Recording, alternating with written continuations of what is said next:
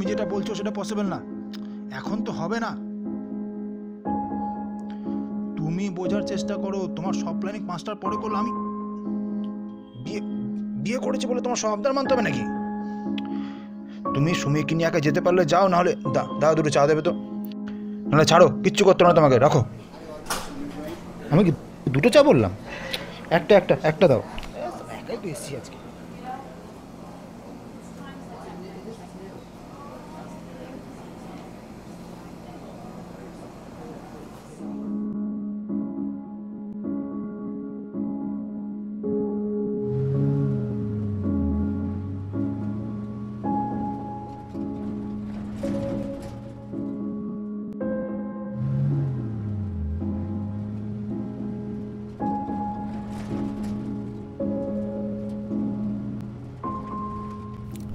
দাদা চাটা খাসা বানায় কিন্তু এখানে। হ্যাঁ। এখানেই থাকেন মনে হচ্ছে? হ্যাঁ? হ্যাঁ এখানেই থাকি। তা দেখে মনে হয় না আপনাকে। অ্যাকচুয়ালি আমি রোজই আসি এখানে। চাটা যা বানায় না দাদা মানে এর জন্য এখানে রোজ কোনোভাবে হলেও আর কি আসার চেষ্টা করি। আপনি একটু আগে চায়ের কথাটা বললেন। হ্যাঁ ও বললাম তাই না? চাটা এত সুন্দর না বারবার বলতে ইচ্ছা করে। আসলে আমি এখানেই থাকি। আমার বাড়ি এখান থেকে জাস্ট জাস্ট দু কিলোমিটার কিন্তু থাকি আমি এখানে। আচ্ছা আর কোথায় থাকব? এখানেই থাকি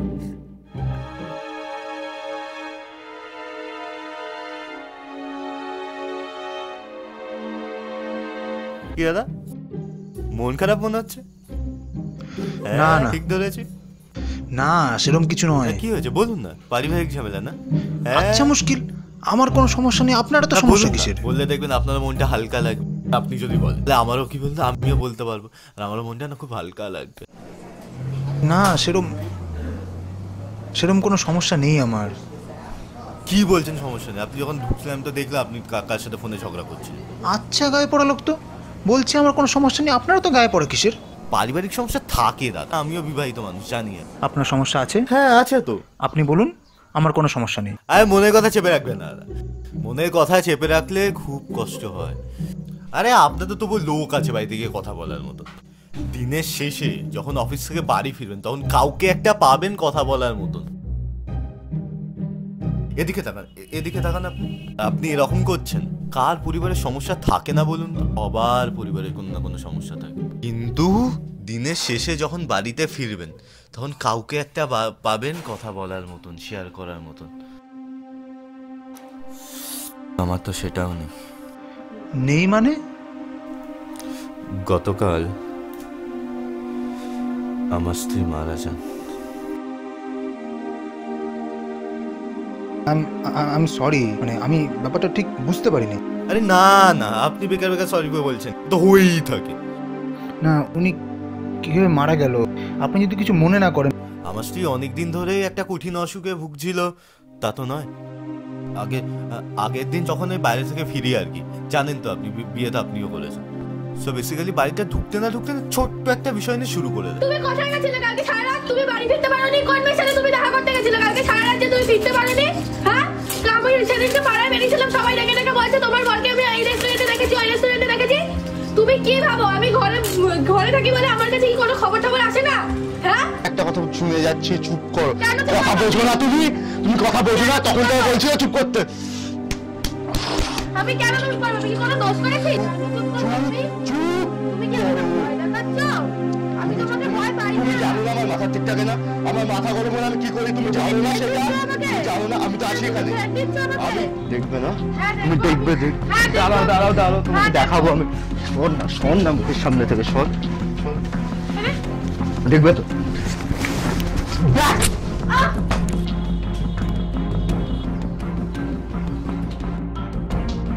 এতবার করে তোমাকে বললাম, চুপ করো চুপ করো চুপ করো।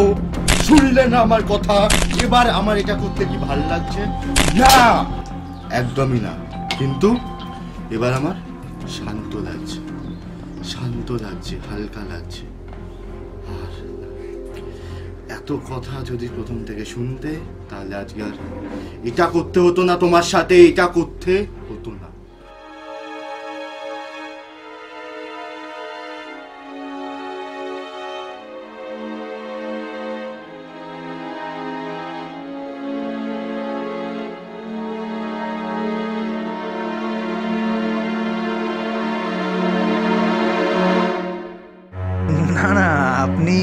মজাটা বেশ ভালো করেন। তো আমার এখন একটু তাড়া আছে দাদা, আমি আসি তাহলে। পরে কথা হবে আপনার সঙ্গে। দাদা, আমার কত হলো বলো তো? কি হলো? আমাকে কথাটা শেষ করতে দিন।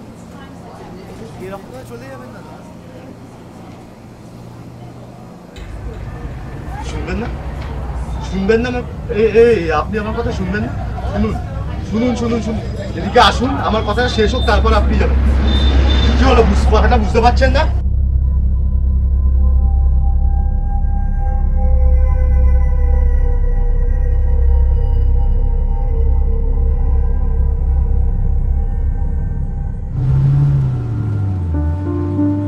আরে ও দাদা কোথায় যাচ্ছেন? কি- কি কি হয়েছে? একটা সিগারেট হবে নাকি? দিন না খাব একটু। সিগারেট চাইলেন না আপনি?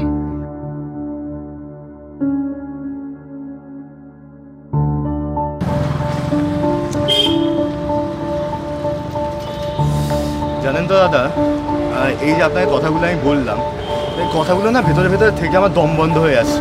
আপনাকে সে বলে ফেললাম, মনটা হালকা লাগছে। তা খুব হালকা লাগছে, আমি মানে কি বলতে বলতে থ্যাংক ইউ অনেক অনেক থ্যাংক ইউ লাইক একটা। অনেক অনেক থ্যাংক ইউ মানে আমি যে আপনাকে বলতে পারলাম ঠিক আছে ঠিক আছে ঠিক আছে ঠিক আছে। লাইটারটা নিয়ে যান। কিন্তু দাদা এই যে আমি আপনাকে বললাম এটা তো কোনো গ্যারেন্টি নেই আপনি কাউকে বলবেন না। আপনি তো আপনি তো পুলিশকে গিয়ে বলে দিতেন তখন আমার কি হবে? মানে আমার কি হবে? আমাকে তো সেই পুলিশে যে পুলিশে যে জেলে নিয়ে যাবে ভেতরে ওরা আমাকে মারবে মেরে শেষ করে দেবে আমার জীবন আমার কি হবে তখন? আপনাকে তো মরতে হবে। না না বিশ্বাস করুন আমি কাউকে কিচ্ছু বলব না আমি আপনাকে চিনি না দেখিনি কোনোদিন। আমার আমার বিশ্বাস করুন আমার বাড়িতে মেয়ে আছে একটা ছোট্ট মেয়ে আছে বউ আছে প্লিজ প্লিজ আমি কিচ্ছু বলব না কাউকে কিচ্ছু বলব না। আপনাকে আপনাকে কোনো করে ছাড়া যাবে না। আপনি তো আপনি তো বলে দেবেন আপনার আপনাকে তো এবার মরতে হবে দাদা? আপনাকে এবার মরতে হবে।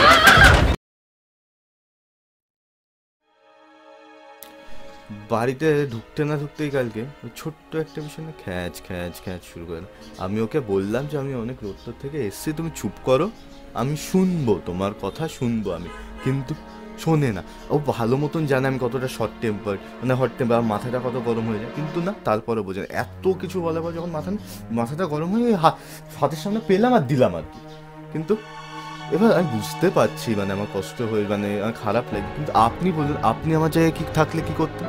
দাদা, আপনাকে আমার মানে বউকে যেভাবে মেরেছি এটা বলে তো আমি খুব শান্তি পেলাম। কিন্তু কি হলো? মানে ওই কষ্টটা চাপার জন্য বা আপনাকে যখন বলে ফেললাম আপনাকেও তো মারতে হবে। কিন্তু আপনাকে মেরে তো আমার শান্তি হলো। বাট আমার ভেতরে ভেতরে না আবার কষ্ট হচ্ছে। শান্তি আছে, শান্তির সাথে সাথে আবার ভেতরে ভেতরে কষ্ট হচ্ছে। ওই কষ্টটা তো আমাকে ভেতরে ভেতরে ছিঁড়ে খাবে এরপর। মানে ভেতরে ভেতরে পচে আমাকে মেরে ফেলতে আমাকে তো কাউকে বলতে কারোর সাথে তো আমাকে শেয়ার করতে হবে নাহলে তো আমি থাকতে পারব না শেয়ার তো কারোর সাথে করতে হবে। ঠিক আছে। দেখি কাউকে পাই নাকি বলার মতো শেয়ার করার মতো। উঠলাম হ্যাঁ। আসি ভালো থাকবে